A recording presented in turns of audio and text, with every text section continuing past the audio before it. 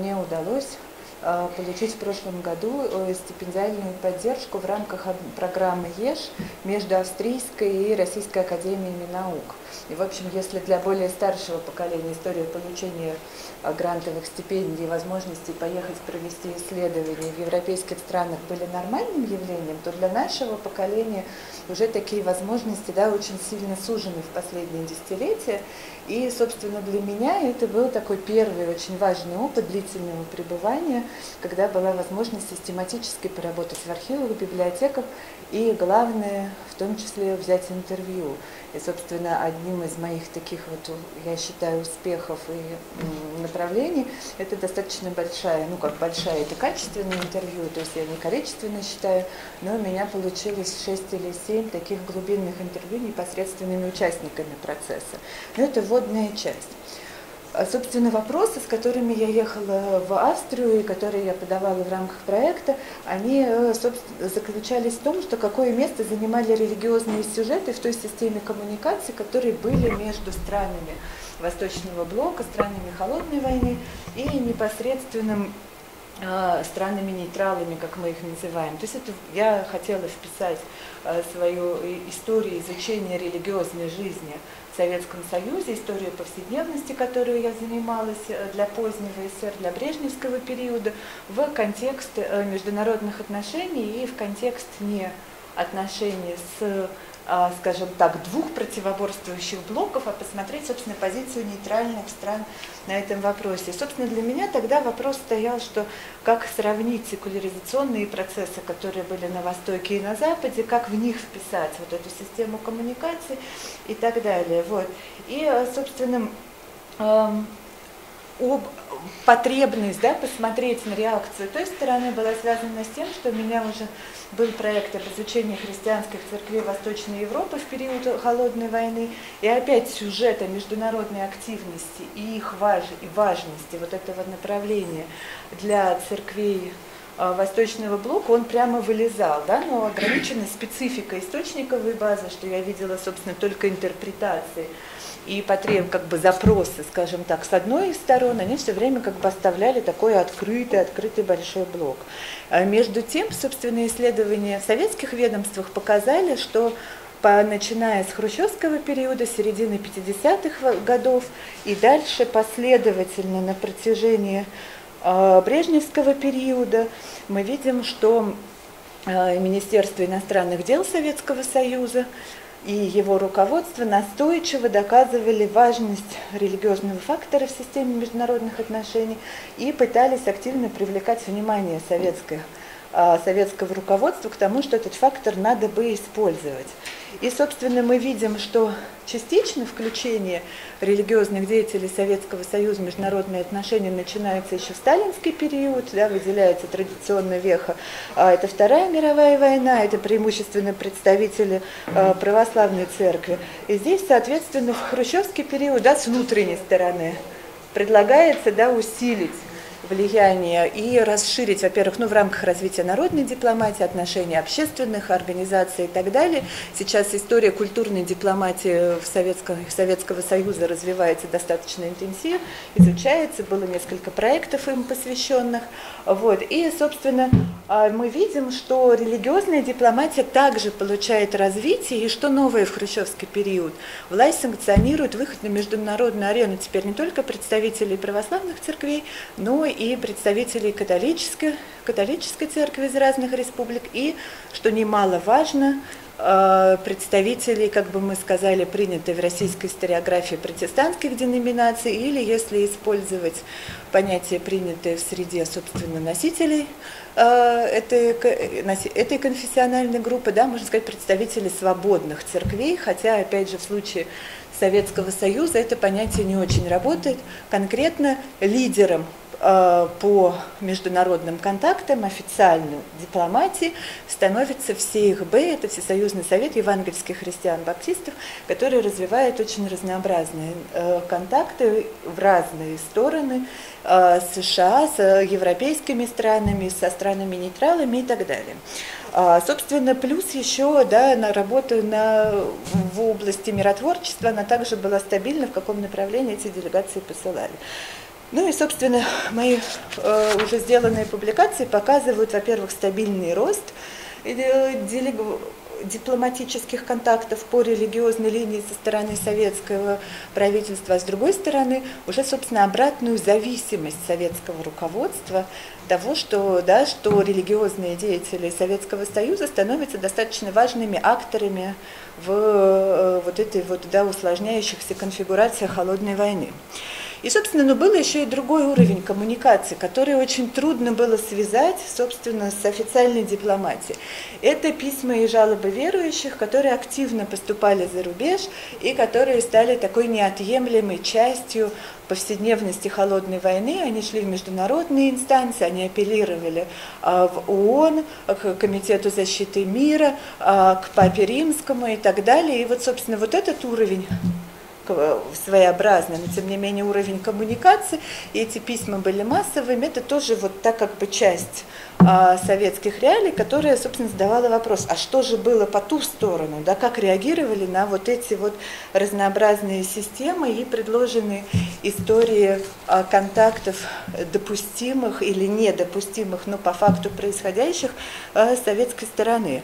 Ну и, собственно, при, начиная свой проект, я знала, что в Швейцарии была основной базой для религиозных, э, во-первых, экуменических организаций, хорошо известная организация, это Всемирный совет церквей, самая мощная, и работа которого в условиях холодной войны, то есть специфики, в которых он оказался между противостоянием первого, второго, третьих миров, смещением акцентов между противостоянием первого, второго э, и, э, собственно, конфликтов между Востоком и Западом с севера на юг, противостояние, которое наблюдалось внутри вот этого, э, внутри этой организации, она описана в работах последних э, последних работах немецких историков, которые получили доступ к фондам этой организации и так далее.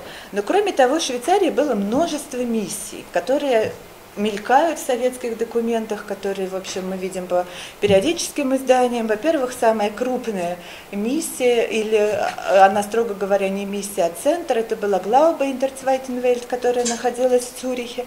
Потом была э, Крислихе Остмиссион, потом были миссион Сверклихти Мостен и разные, в общем, подразделения э, свободных, свободных церквей, которые так или иначе работали и контактировали с верующими Советского Союза. И, собственно, это были достаточно закрытые, консервативные, в первую очередь, евангелические структуры, которые академическим исследованиям, собственно, ранее не подвергались. Собственно, после приезда в Вену, и вот с таким вот запросом, еще у меня было мнение, что Вена, согласно историографии, была таким центром притяжения контактов для католиков Восточной Европы. Ну, собственно, с этим я приезжаю, и дальше э, достаточно сильно начинается меняться фокус, э, собственно, того, что происходило, и передо мной начинает как бы возникает сначала, а потом становится такой очень мощной доминирующей фигурой, перекрывающей все, это фигура кардинала Кёнига, а, вот, поскольку про него практически неизвестно в российской историографии, а, что э, и при этом достаточно много известно в немецкоязычной. Поэтому кратко, собственно, в чем он да, интересен.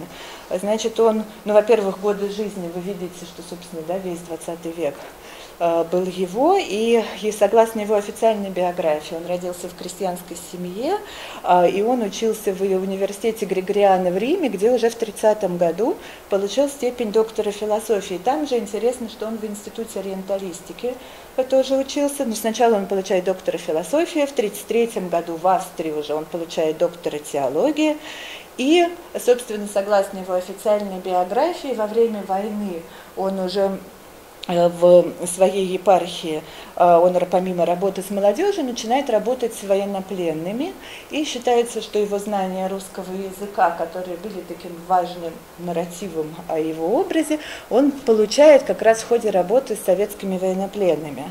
А в 1945 году он становится профессором э, изучения религии, религионс профессор в Кремсе, и 46-го он уже хабилитируется там. То есть это очень такая быстрая и мощная академическая карьера для католического священника на тот момент. Он был рукоположен в 1933 году в священнике и э, становится приват-доцентом в религионсвиссеншафтен, то есть да, в, изучении, в изучении религий. И, э, соответственно, в рамках alttestamentlichen Wissenschaften. То есть это такое вот как бы совсем такое специфическое, не классическое для католической теологии направление. И, собственно, вот на тот момент публикации его много касаются вопросов зороастризма и, вообще, и в том числе восточных древних религий. В 1952 году он назначается епископом еще Папой Пием XII, и тоже его направление работы с молодежью. В 1956 году, еще при жизни, опять же, Папы Пия, он назначается уже архиепископом Вены. И э, в 1958 году уже Папой Иоанном XXIII он вводится в состав коллегии кардиналов. Э, в феврале 1959 года э, кардинал э, Кёник назначается Иоанном, тем же Иоанном XXIII, ответственным за работу с вооруженными силами Австрии что для особого статуса Австрии это вообще такая, как бы, да, а, в общем, достаточно сложная история, которая еще нуждается в том числе для меня э, детализации. Он эту должность занимал как бы главного викария по работе с вооруженными силами до 1969 года, будучи параллельно уже архиепископом Вены. И, э, значит, в чем его примечательность согласно официальным немецким биографиям?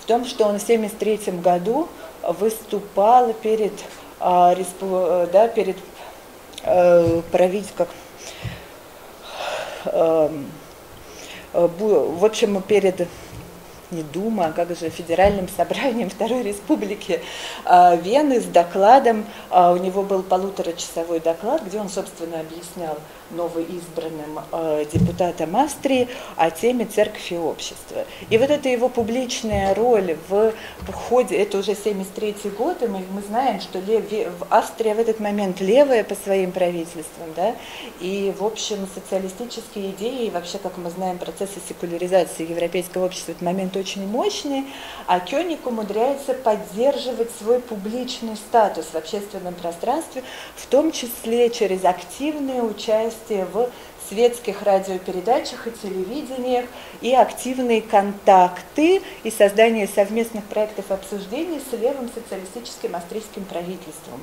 А, что, в общем, это вот его тактика, причем он не по политическим вопросам с ними дискутирует, а в первую очередь обсуждает про злободневные общественные проблемы. И, соответственно, это совсем другое измерение, очень необычная история отношений церкви и государства, светского, левого, нейтрального, да, после наших привычных схем о том, как вообще процессы секуляризации развиваются. А, вот. Ну и плюс к тому, значит, это, как бы, скажем так, контекст его внутри австрийский. Был его новое измерение его и в рамках вообще всей католической церкви. Дело в том, что во время Второго Ватиканского собора он возглавляет, ну помимо он разрабатывал документы, касающиеся Э, вопросов религиозной свободы, экуменизма, и он был назначен главой Ватиканского секретариата по взаимоотношениям с неверующими. И это было принципиально, опять же, новое направление, и, собственно, кардинал Кёник инициирует и развивает диалоги с марксистами в том числе, и вообще вот история диалога с неверующими как концепт католической церкви, когда он из области блокирования отношений, например, с коммунистами, да, как с персонами, переводит, во-первых, в область диалога, во-вторых, вопросы диалога и мировоззрения, обсуждения в философских категориях, это, опять же, вот его такой личный был очень мощный вклад и импульс, и он смог преодолеть, как судя по всему, достаточно мощное сопротивление отцов Второго Ватикана, которые, в общем, имели такой антикоммунистический, антимарксистский характер, и которые считали, что, собственно, говорить здесь не о чем, это угрозы и так далее. Вот, и он возглавлял этот комитет по комиссию по диалогу с неверующими до 1981 года.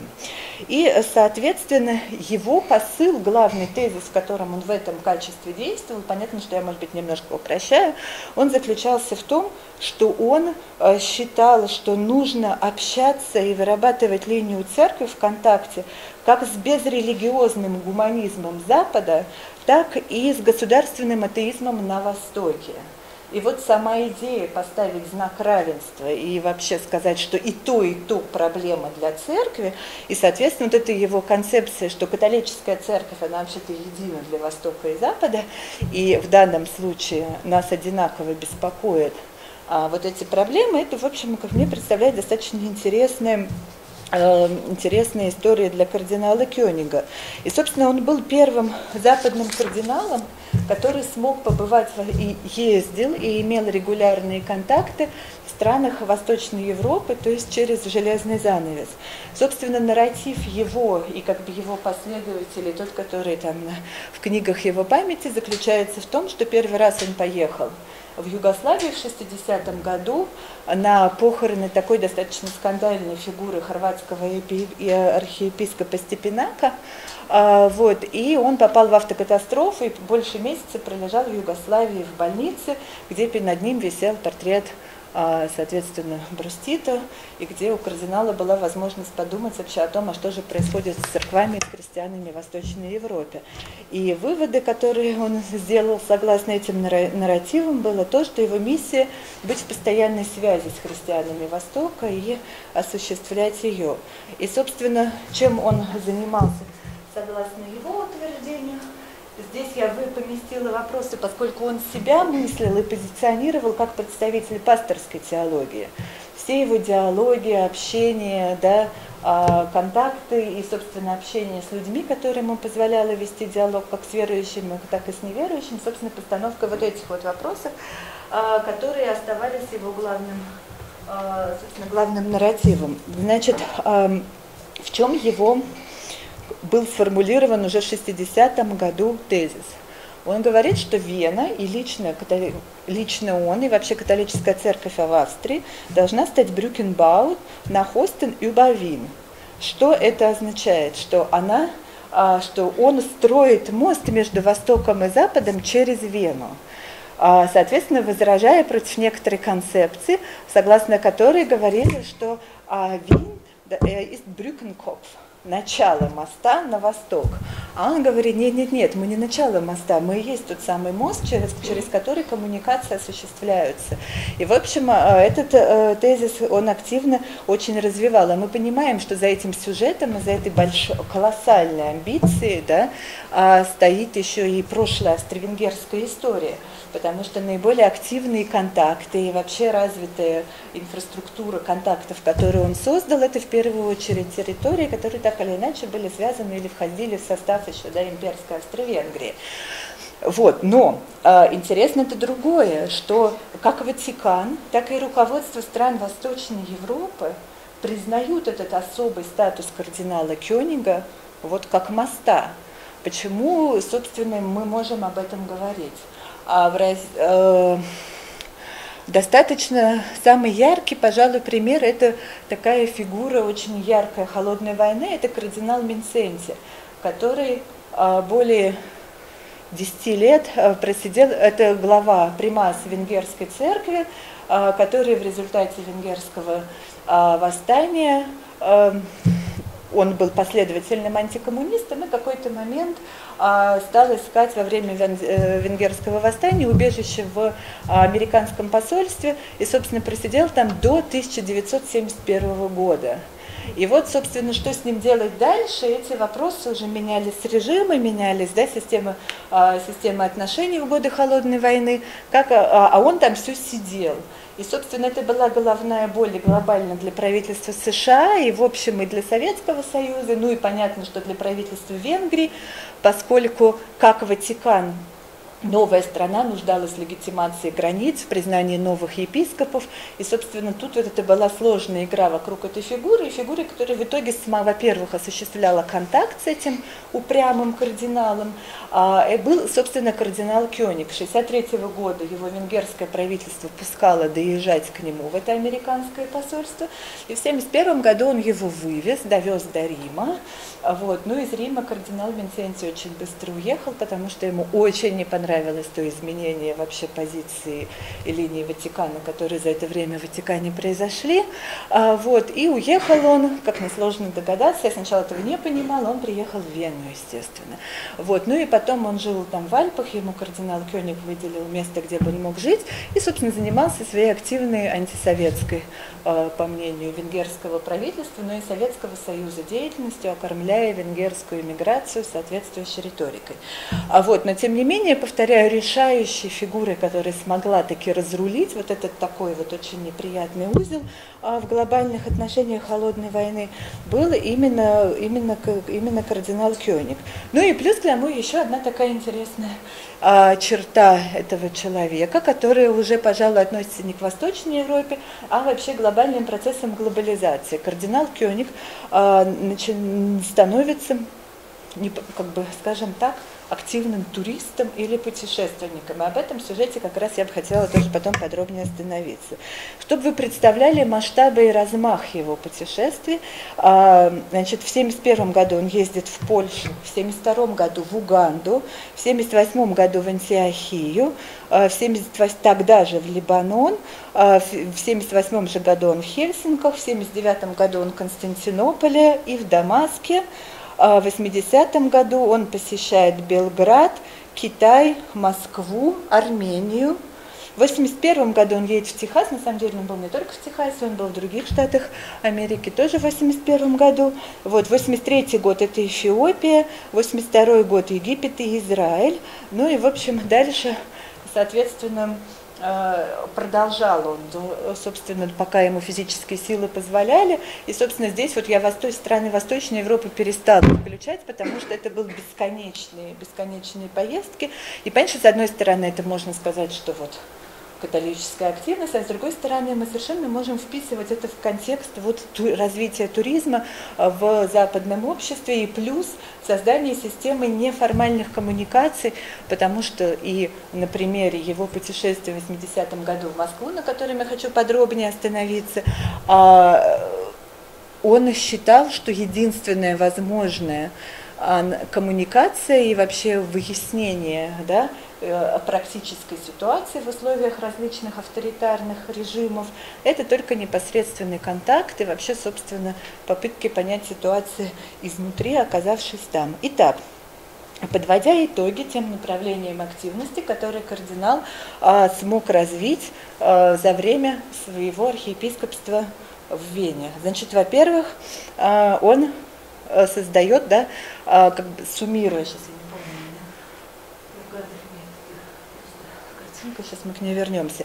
Значит, во-первых, он создает фонд Проориента. Это очень да, важное направление, которое в контексте развития диалога с восточными церквями. Он не ограничивается церквями Восточной Европы, а вообще христиане Востока. И, собственно, идея Проориента не унийная история, не история поиска уния, а одна из ключевых задач – это история презентации в западном мире а, образцов восточной духовности. Фонд Приориенты, основанный в 1964 году, существует до сих пор и достаточно активно ведет а, диалог с дохалкидонскими и вообще с восточными церквами разных традиций.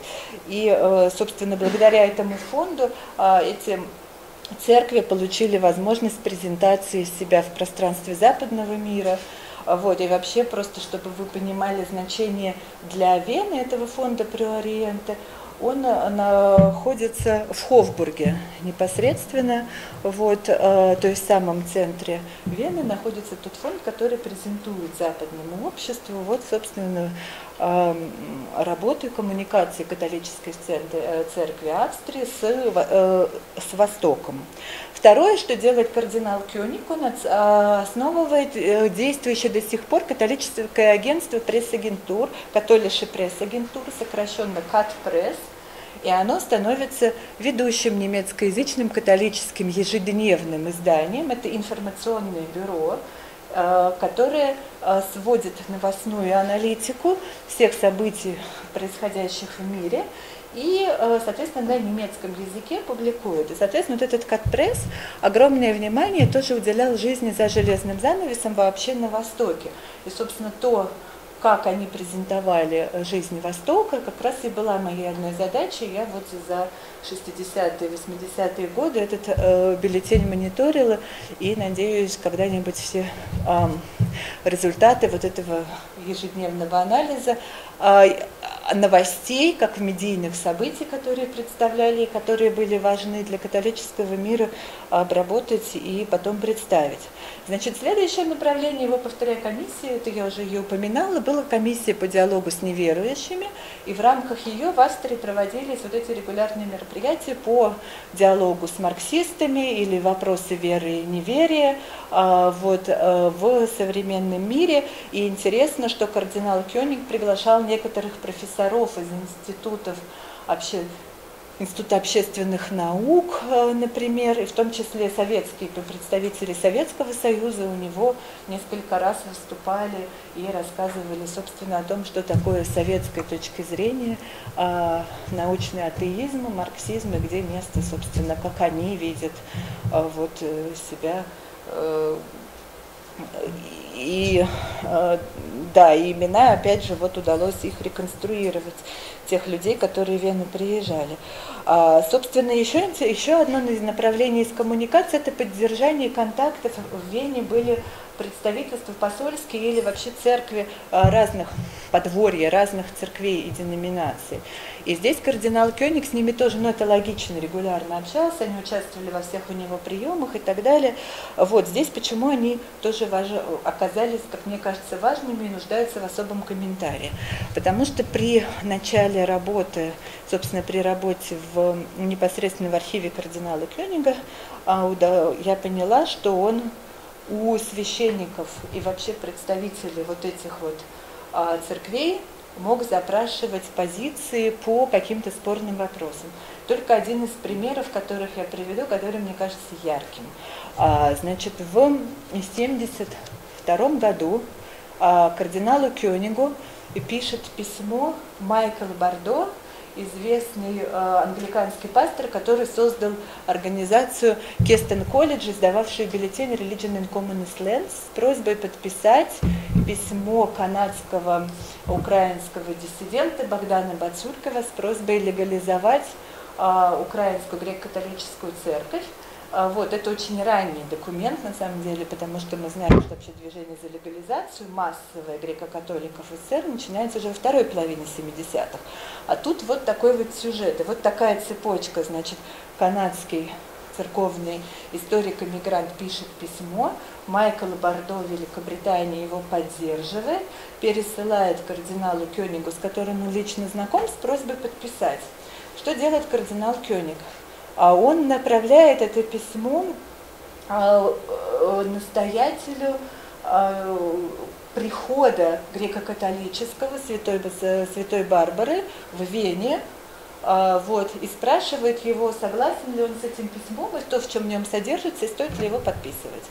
Вот, на что этот знаменитый в украинских иммигрантских кругах этот отец Александр, он, у него Дворкович, у него есть Острахайм Двор, Дворкович, отвечает, что в принципе письмо неплохое, подписать можно, но, например, информация о том, что в СССР на территории СССР действуют три нелегальных священника и около 300 нелегальных, э, то есть около трех нелегальных епархий, 300 священников, эту информацию следует вычеркнуть.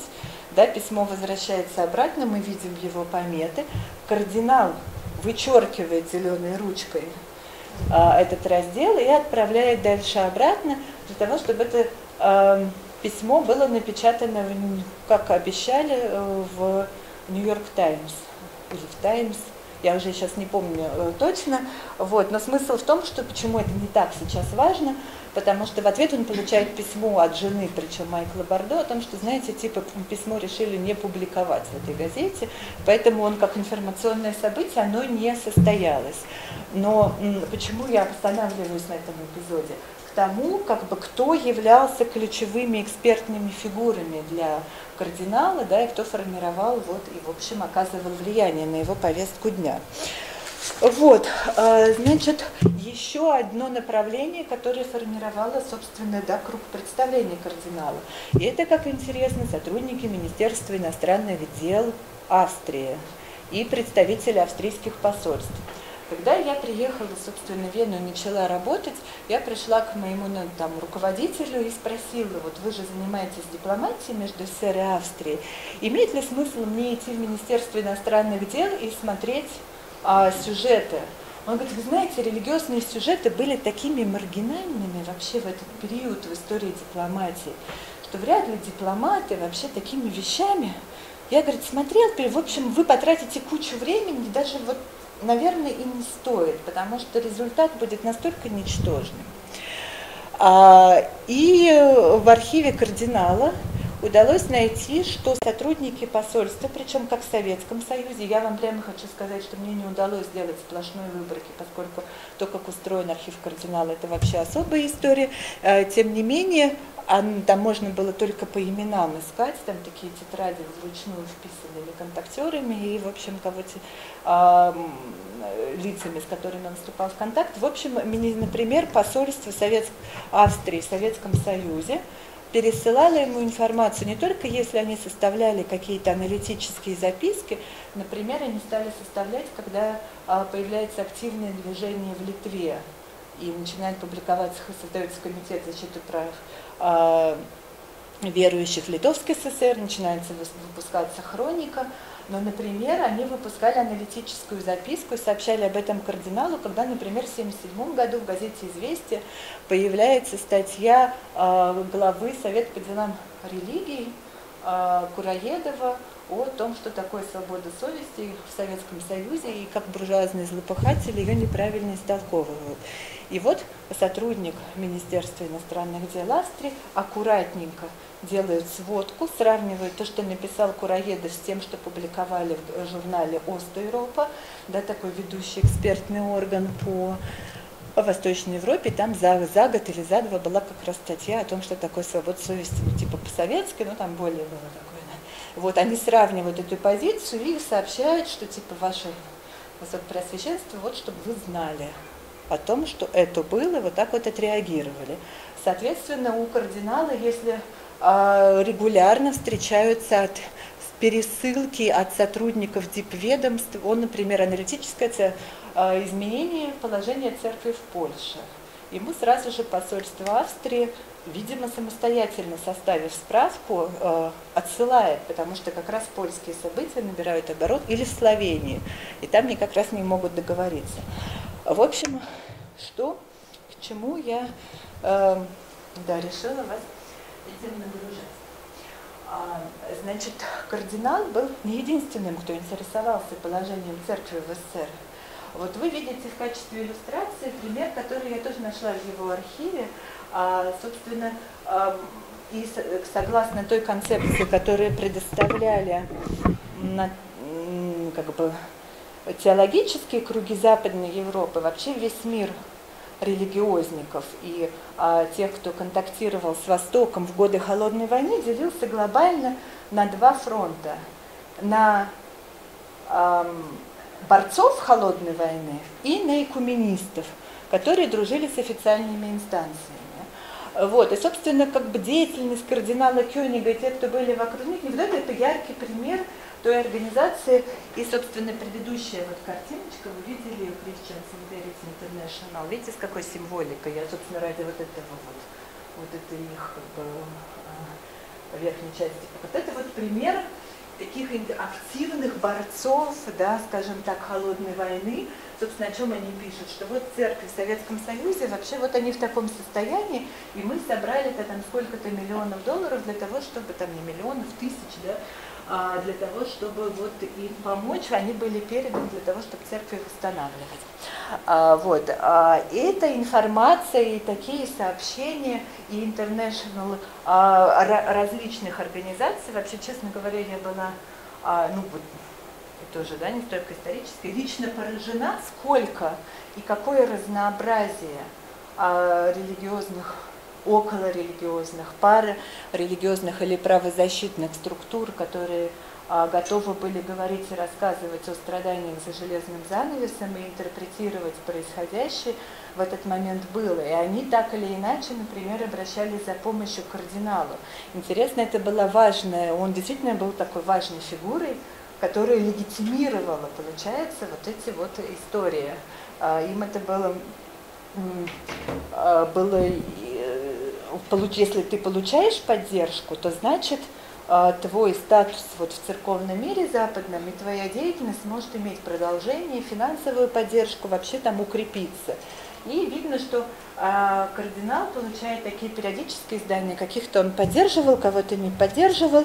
Вот. А, ну, э, и, собственно, а, вот этот вот спектр обращавшихся к нему людей, которые презентовали себя как голоса, как те, кто хотят говорить от имени страдающих христиан Востока, это вообще особое исследование огромное, которое, в общем, еще ждет, может быть, когда-нибудь кем-нибудь оно будет написано.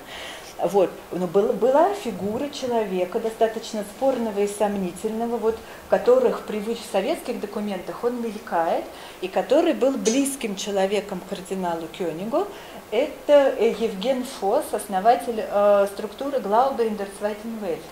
И именно с ним мы видим, что они, э, более того, кардинал, когда ему пишут из Ватикана про то, что плохо отзываются о ФОСе, вообще не надо бы с ним общаться, потому что он портит нам отношения с Советским Союзом. А кардинал его покрывает, ну, он отказывается вступать в конфликт. Я, говорит, знаю, что у Евгена Фоса информация проверенная, я буду с ним дальше продолжать сотрудничать. Евген Фос выходит на большую арену в связи с Хельсинским процессом, и мы знаем, что католическая церковь тоже достаточно активно в его подготовке участвовала. И Евген Фос, собственно, выдвигает как бы страдания сами по себе христиан в условиях глобального секулярного мира, они в общем большую аудиторию собрать не могли. Сколько бы кардинал там Козырев в Мюнхене не печатал карты с концлагерями по всей территории Советского Союза, где страдают верующие, они не привлекали аудитории и не могли стать медийным событием. Что происходит в случае с Глаубе? Но это как бы моя интерпретация. А Евген Фос использует движение, которое да, для Советского Союза, мы знаем, Хельсинский процесс означал совсем другое, чем он означал для западного общества. Потому что если для нас, э, для советского контекста, а третья корзина, она, собственно, никаких там, да, не играла, не была интересна, то она получает огромный резонанс, собственно, и обсуждение в западном обществе. И тут Евген Фос говорит, что моя организация, она про права, про права человека и про религиозные права как неотъемлемую часть свобод – и тут он получается из маргинального, достаточно странного реформаторского пастора в Швейцарии, который был таким, в общем, не очень заметным персонажем а, на фоне таких глобальных, как, например, Всемирный совет церквей рядом в Женеве находится. А, показать значимость главы Трансвайтенвельт, в общем, было трудно. И к тому же и в Советский Союз он один раз ездил, его больше не пускали, его сразу же признали антисоветским, там его деятельность очень нехорошо э, интерпретировалась, и он испытывал давление, к нему регулярно приезжали представители Штази, и, собственно, вообще вот его взаимоотношения со Штази, несколько раз об этом были публикации в газетах, вообще фигура, которую вы даже не найдете, о нем полную биографию сейчас в интернете, потому что это такая очень, ну, неоднозначная история как раз холодной войны и тех самых борцов, потому что про его взаимоотношения с а, органами госбезопасности, да, ГДР, в общем, и там много чего непонятного, потому что ГДРовские студенты-теологи ездили учиться в Цюрих, и как бы откуда ж, как там вот эти все финансы и отношения, кто был агентом, и что в штазе оказывались полные комплекты документов всех заседаний Глауба Зерсвайтенвельт и так далее. В общем, этот клубок, который тянется вокруг этой персоны. И тянулся он, повторяю, Глаубе было создано в 1972 году, он все время был для него такой вот как бы не очень хорошей репутационной историей. А тут э, он выдвигает тезис, что он про защиту прав человека. И, собственно, он как представитель религиозных свобод. И у Глаба начинается совсем другая история. Они выпускают, у них появляется дофинансирование в другом масштабе. И, собственно, они заявляют о том, что мы теперь занимаемся тем, что мы мониторим реализацию религиозных свобод во всей Восточной Европе, например. Вот. И на, на этом основании а, ФОС организует новую инициативу, и это отдельный такой интересный сюжет. Создается неформальная группа организаций, которая называется Винар Крайзен, Венские круги, которые э, проходили несколько раз в году, приходили встречи, сдавали еженедельники, бюллетени, и которые, собственно, э, аккумулировали на себе э, внимание и разработку проблем того, что происходит в странах Восточной Европы, соблюдение Хельсинских соглашений, а это уже повестка большой да, политики в области прав, религиозных прав и свобод. И, собственно, от имени в этом контексте Евген Фос начинает, мы, как я поняла из архива кардинала Кёнига, а, организацию Винер Крайзен, собственно, формат, повестку дня и эм, приглашая круг приглашаемых лиц, уже формировал Евген Фос. А он просто рассылал от имени кардинала, это видно, вот эти приглашения, а внутренняя переписка показывает, что здесь он становится ключевой фигурой. А, вот. И э, дабы не пере... А, и последний эпизод – о котором я вам хотела рассказать, просто он хронологически оказывается последним, а, но который ставит одна, а, как раз возвращает нас к вопросу о специфике коммуникации через железный занавес. Это история с поездкой кардинала Кёнига в Москву. Это 1980 год, 30 человек, 29 людей, членов вот этого упоминавшегося мною фонда про Ориенте, получают частные визы, а для западных представителей получить частную, ну, просто туристическую визу в Советский Союз, например, было быстрее по срокам, чем для граждан Восточной Европы, как выясняется.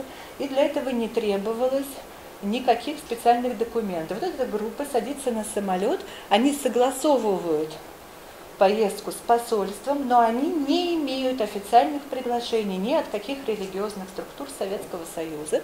И вот глава католической церкви Австрии садится на самолет и в качестве туриста приезжает в Советский Союз. В общем, эм, я не знала, что эта поездка вообще-то могла быть и, собственно, была дипломатическим скандалом. Если бы я не пошла на интервью а, на тот момент культурному атташе Йогану Марте, который с 78 по 84 год работал в Москве культурным атташе, и при котором этот сюжет произошел. И в мое первое интервью он об эти детали не рассказывал. И он пришел второй раз и подробно стал сказать, все-таки я вам хочу объяснить. Вы все-таки, видимо, не поняли, что произошло во время приезда кардинала Кёнига в Советский Союз.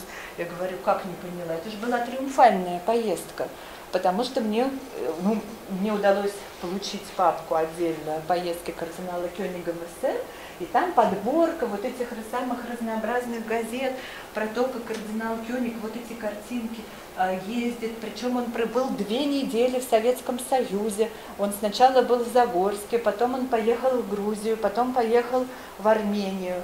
И вроде бы так ну, внушительно. Он рассказывает как раз почему, собственно, я и э, заглавила свой, а, э, свой доклад «Воображая духовно». Он рассказывает про особенности, уникальности а, восточной духовности, про то, какие вот в официальных интервью, как оно все вообще а, его впечатлили, переполненные церкви, обилие верующих, сердечность.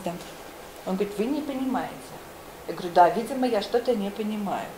И потом, когда я внимательно да, вот еще одна газета. Вся австрийская пресса а, причем не только церковные, а и воскресные еженедельники. Это было крупнейшим и как бы медиа событием, а, внесшим кардинала вот, собственно, в прессу нейтральной страны. А, я никак не могла понять, почему я с советской стороны не видела документов по поводу его приезда. Думаю, ну, наверное, упустила, вернусь в Москву, пойду в Совет по делам религии, буду там тщательно прорабатывать встречи. Оказывается, что встреч-то не было, и в Загорск делегация попала только на конференцию, которая в тот момент шла, посвященная разоружению, там, безъядерному миру и так далее. И они не смогли добиться, вот, собственно, Йоган Марты пришел в интервью, рассказывал о том, что он пытался дозвониться до председателя отдела внешних церковных сношений на тот момент митрополита Ювеналия, договориться о встрече кардинала с ними. Он пытался звонить уже напрямую в патриархию. И не было контакта. Их проигн... Они говорят, ну, может быть, мы тогда сходим в Совет по делам религии Кураедову, как бы, может быть, он нам санкционирует, мы объясним смысл визита про Ориента, вообще официальная делегация. Их тоже там блок. И а, дальше они приехали в Грузию, и с ними католикос тоже не смог встретиться, поскольку он был болен. А, на тот момент на звонки не отвечал, а нет, у него была неотъемлемая такая неотложная встреча во время, как раз в тот момент срочно уехал из Тбилиси. И тоже, собственно, была блокада. Единственный официальный человек, который согласился на индивидуальную встречу с ними, был армянский католикос. Вот. А все остальные тщательно избегали ее, и по сути дела это как бы вопрос об успешности. Это, да, эта история ставит очень много вопросов. Но зато ему удалось ездить и причастить, да, в Москве он служил в костеле Святого Людовика, потом он а, съездил, причастил австрийскую революционерку, которая жила, вот старушку какая 90-летняя, вот, и фотографии об этом лежат в архиве, об этом рассказывал а, Йоган Мартин. В общем, здесь множество таких интересных вопросов и нюансов. И есть в Катпресс, да, вот есть фотографии со встреч, то есть мы видим, что формально общение было. Он приехал в Загорск, мы видим протокольные фотографии на разных уровнях, мы видим фотографии патриарха, и, собственно, как из медийного события понять, что это провал, ну, мы там ни разу не увидим вместе патриарха и кардинала Кёнига, когда начнем присматривать. А? Было, одна фотография была. Отдельно патриарх, по-моему. Отдельно? А, вот. Сейчас, да, вот его пустили на бок. Вот, вот это вот. Нет, выше. Его, значит, они принимали. А вот это. А это не патриарх. А кто это?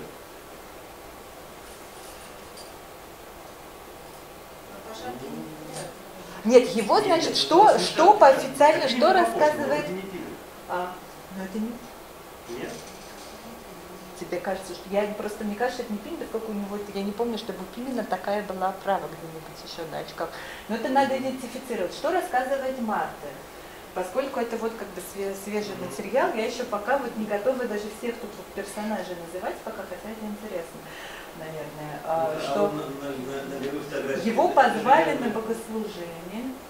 Это, это, я... Да Лавра, так он в Загорск приехал да. на большую конференцию, он был на богослужении, и его позвали на огромный ужин, а, где вот вы их встречали, им показывали, но они все хотели встреч с людьми, которые а, возглавляют церковь. И именно этих встреч не с патриархом, и я никак не могу понять, как он про это рассказывает, потому что вроде бы мы видим, например, смотрите, есть фотография, где он стоит с ювеналием перед столом, да? Фотография есть у него,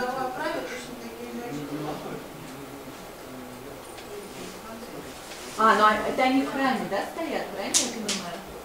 Вот просто ага. в таких очках, ну точно, точно, очень похож. Смотри, вот. Значит, да, а что, что рассказывает, что рассказывает Марта? Их пустили в церковь на богослужение, видимо, эта фотография, да, тогда сделана, вот, ну, это собор. Они говорят, мы хотим встречаться встречи нету, их зовут на ужин. Сейчас. Вот, значит, видимо, вот эта фотография, которая вот э, тиражируется в газетах э, с ювеналием, да, это же вот кто там, стоит? Это тоже фотография на каком-то мероприятии. Его снимают потом на фоне московских соборов. И дальше они сидят пару дней в Москве, пытаются... Вот мы видим митрополита Владимира Самодана рядом с ним, который глава Московской духовной академии семинарии в этот момент, правильно? То есть он не митрополит тогда, кто он? Сабадан, это следующая фотография. Вот. Сабадан.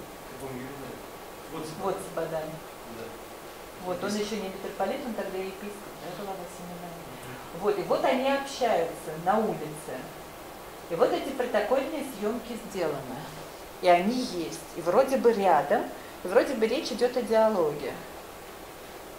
Дальше он рассказывает, что никакого общения и диалога не было, что от них официальное руководство, да к чему я это рассказываю? А, почему не бьются вот эти вот официальные фотографии, которые публикуются в прессе, с тем, что рассказывает Марта про этот визит. Да? Мне не очень понятно. Я говорю, для меня это открытый вопрос, с кем он встречался, не встречался. Он говорит, что встречи с патриархом они не получили. Вот Маша говорит, что патриарх стоит рядом с ним на фотографии. Потому что есть вот эти Но он в облачении, да-да-да, нет, я совершенно, да, то есть это тем более, но он в облачении, значит, это фотография во время службы, да, или сразу же после, потому что как бы в богослужебном облачении он же не будет встречаться. Вот, но кто-то поймал этот момент, когда они были рядом. То есть, да, вот эта работа прессы, который фиксирует рядом, что как бы вот есть встреча. И вообще, э, в общем, э, сообщения СМИ такие очень торжествующие. Вот в Татпресс я нашла последний вот этот документик, который он весь мелкий, мы сейчас не будем его все детали читать, где, э, собственно, начинается оно словами, э, что я, говорит кардинал, что я немножко вот разочарован в том, что такой э, симпатичный, очень э, верующий народ подвергается таким ограничениям свободы совести. Но дальше говорит, что это, знаете ли, в общем, вот там вопрос времени, но из этого сообщения в прессе, которое заканчивается э, сообщением, и это было то, что пущено в немецкой прессе, вот церковной, оно вообще другой тональности. После возвращения, я потом, если кому интересно, просто могу его разослать, снимала я, поскольку не очень официально на телефон, поэтому качество было соответствующее. Заканчивается оно сообщением профессора э, доктора Эрнста Супнера, который потом выпустил многотомник об истории взаимоотношений церквей Востока и Запада, он сейчас переведен на русский язык, он значит, сообщает о том, что, а, что те церкви, а, что те верующие, которые хотели поучаствовать в богослужении кардинала Кёнига в соборе Святого Людовика, короче, вот их там задерживала э, милиция, и вообще там у них были всяческие какие-то истории. И на этом новостное сообщение заканчивается, а большой текст о том, что вот они там передавали, а, с кем там встретились, не встретились, какие они получили подарки. И несколько раз сообщение, что важно, указывается, что они не получали официальных приглашений от религиозных организаций и не имели официальных встреч с представителями советских инстанций, что это была их частная как бы инициатива фонда Проориента. Вот. А, вот это вот просто такой сюжет, который очень хотелось, а, хотелось э, рассказать, поскольку он показывает ту неоднозначность, многомерность и, собственно, роли масс... и комплекс факторов, которые участвовали вот э, в религиозных контактах в период холодной войны, потому что мы здесь видим несколько уровней. С одной стороны, вопрос о достаточной прозрачности железного занавеса. То есть, если кардинал Кюнинг просто захотел поехать в Советский Союз, 30 людьми он взял и поехал, 30 человек в группе, приехала частным образом в 80-м году, вот спокойно объездили все, что хотели, побывали в разных республиках, спокойно и неспокойно, да, но тем не менее, то есть история про жесткую закрытость, это, во-первых, да, тоже вопрос. Во, а, во-вторых, эм, во-вторых, история про а, уровень и характер Э, дипломатии. То есть казалось бы, что глава церкви может и не поехать, то есть представить себе, что э, глава церкви нарушает церковный протокол и едет на другую чужую каноническую территорию, а уж тем более католик. Вот, это тоже, это могло бы иметь в том числе и политический резонанс, скандал и вообще самые разные интерпретации. Советском Союзе этот эпизод тщательнейшим образом обходится молчанием. Мы не видим никаких не наездов, при том, что вообще а, как бы агрессивные реплики в адрес религиозников, занимающихся так или иначе нарушением прав верующих и вообще вмешивающихся в жизнь, в религиозную жизнь Советского Союза, это массово. А, да, мы знаем книжки а, там, Беловой э, и еще его соавтор, который называется «Диверсия без динамита», там есть даже карикатуры про туристов, из которых там из-под шуб валятся там писания у них и так далее. А, вот. То есть это все некоторые такое, в общем, и про то, что буржуазные круги хотят использовать религию в своих целях и вообще как бы, да, эм, в общем, натравить против, вот здесь мы не видим таких вот эпизодов, не видим резонансов, не видим протестных переписок и на уровне дипломатии, но это вот такой вот неожиданный, на мой взгляд, и, в общем, он был самое главное, почему блокировались встречи. Для меня есть только один ответ. Советская сторона не знала, как реагировать и как себя вести. Потому что, в общем, были правила игры холодной войны, которые, в общем, всем были понятны. Готовы были встречаться с кардиналом Казароли. Почему?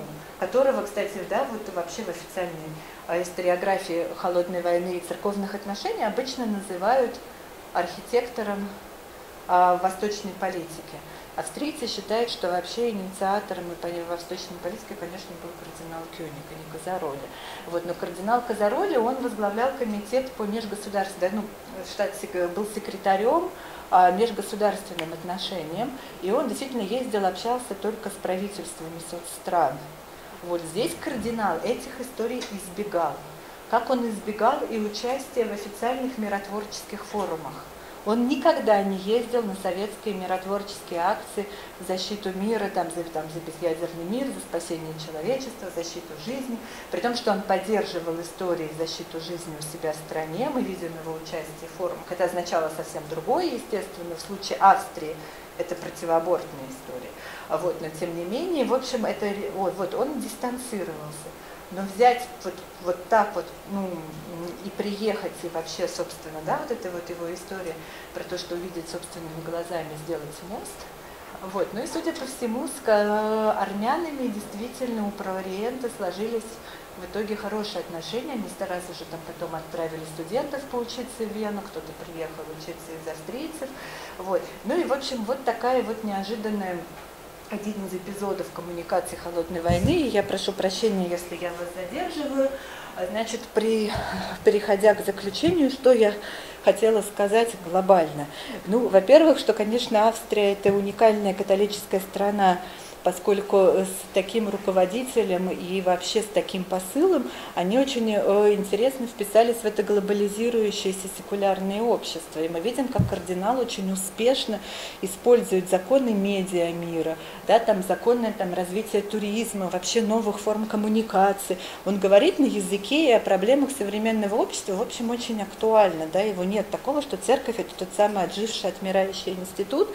Вот. И вот эта его амбициозная роль претензия на роль моста, вот как между Восточной Европой и э, Западной, в случае с Советским Союзом имела, как вы видите, такое очень ну, неоднозначное измерение, ответ о том, что это было и как стоит это интерпретировать, и вообще, э, собственно, о, о, о чем это событие нам рассказывает. Вот, но тем не менее важно то, что своим и постоянным и стабильным интересом поддержанием этого интереса к восточной духовности мы видим новые измерения, в том числе и холодной войны. Например, в Австрии популярны выставки русских икон, а обсуждаются тексты русских э, русских духовных писателей, интерес к церковному праву, потому что создаются кафедры изучения восточных церквей, а, институты и так далее. Вот, древ, духовные аскетические практики, причем это из разных таких как бы точек, но тем не менее а, эти истории идут. И эта тема не про маргиналиев, не про отживающих свой век, а тема для элит, да, для, для, культур, э, для культурного вообще обмена, культурного трансфера и так далее. Вот. И еще для меня было интересным, наверное, не только для меня, важно то, что а, руководством социалистической левой Австрии право и интерес католической церкви на участие в международной жизни, в глобальной системе международных отношений признается и уважается, и дипструктуры рапортуют кардиналы регулярно о том, а что происходит в тех странах, в которых они работают. То есть это да, совсем другой формат взаимоотношений с церковью.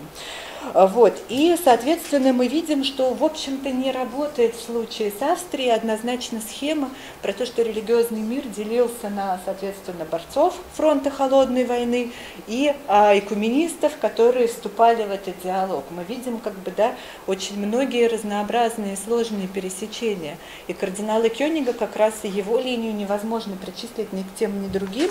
Вот. И вообще вот эта вот история, что религиозные контакты, религиозная жизнь в период холодной войны, вот эта система коммуникации очень сложная и разная, оказалась в серой зоне, как история дипломатии, так и история культурного трансфера, а вот так и собственная история туризма, она дает какой-то потенциал для самых разных изучений, измерений и вообще может быть, возвращение к ней интереса. И именно об этом я, собственно, и хотела поделиться с коллегами.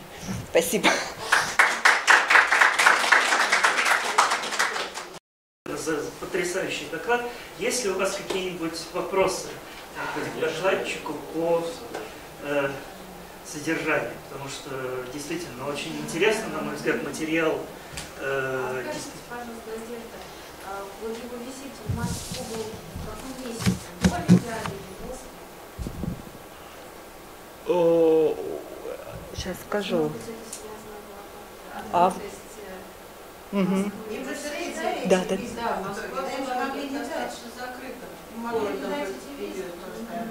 По-моему, они были там память Сергия Радомирского. Это у нас Я сейчас... Это осенний, есть июльский. А есть июльский. Я поэтому... Я сейчас чуть позже, я сейчас посмотрю программу и попробую вам сказать. Что быстро, ага.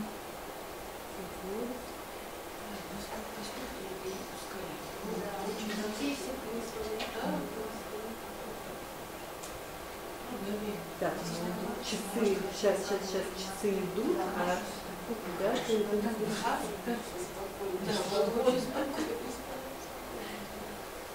Сейчас эта бумажка про то, как к кому обращаться. Сейчас Здесь прямо бумажки. А, сентябрь, 18-28 сентября 1990 года. Ага.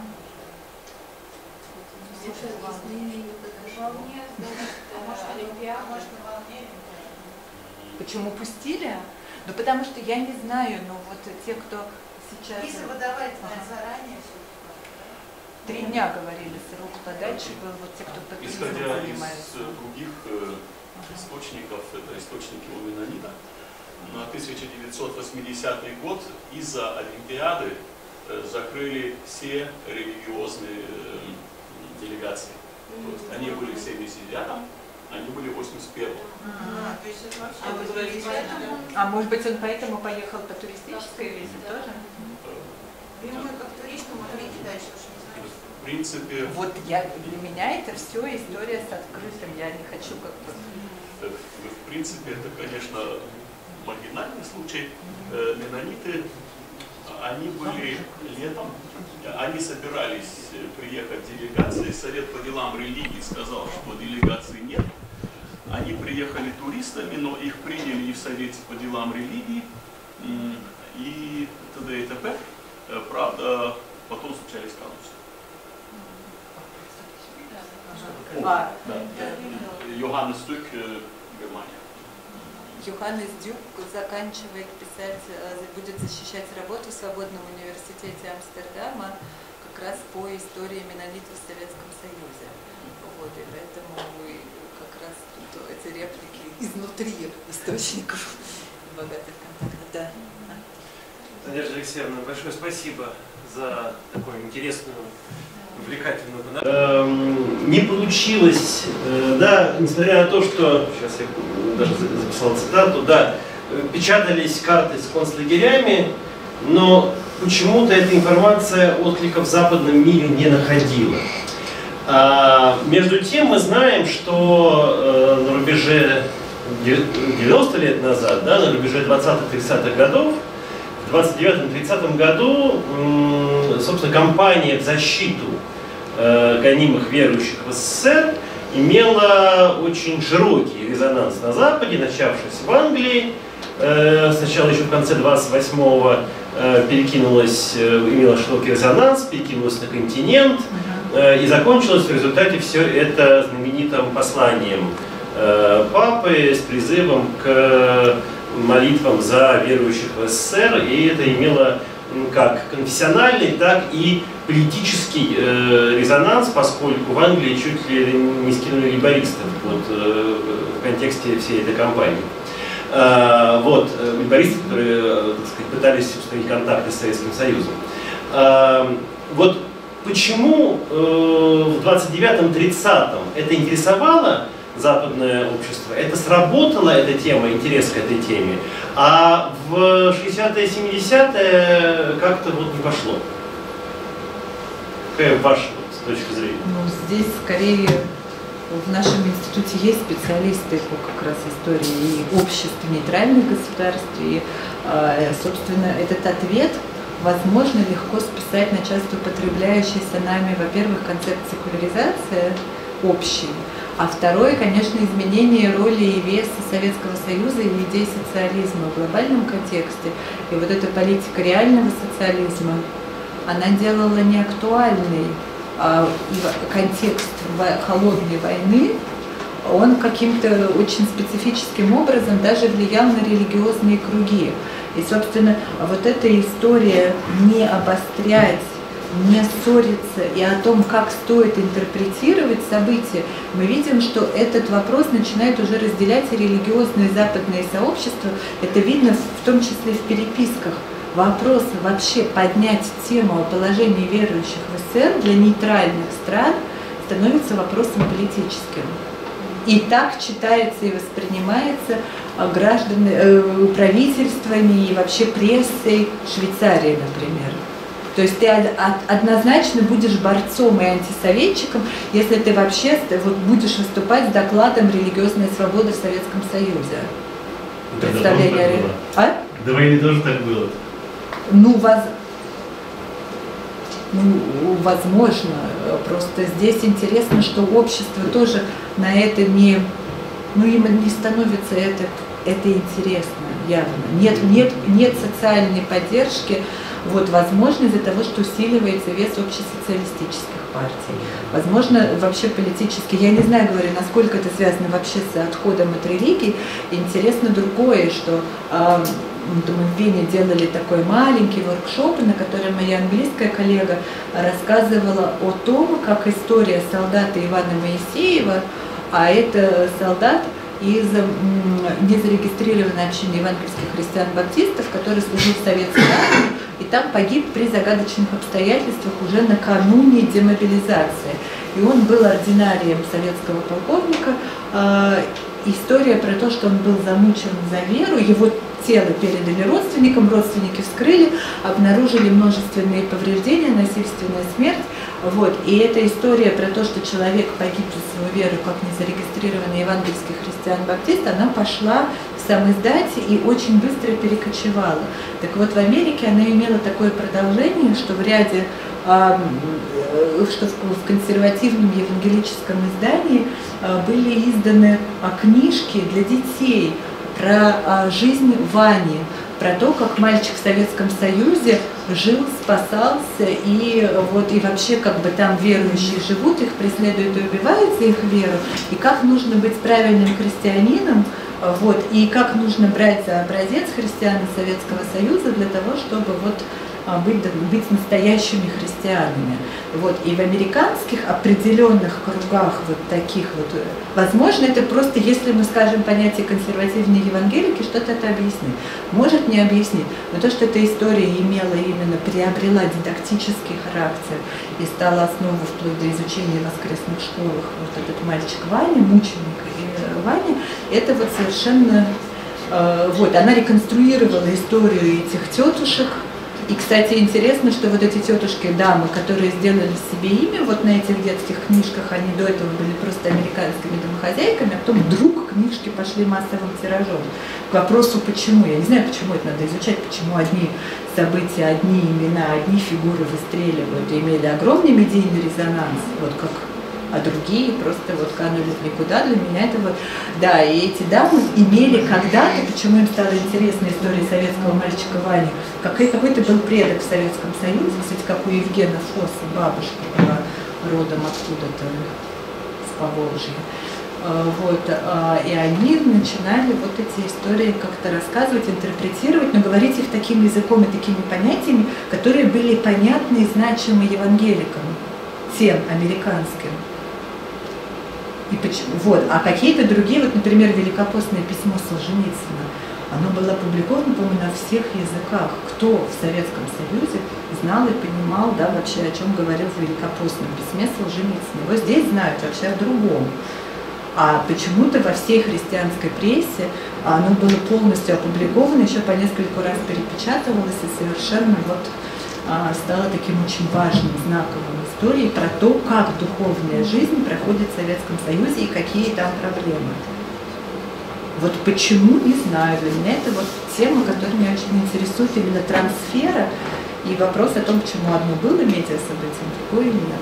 Что слышали люди там про религиозную жизнь здесь, это в общем открыто.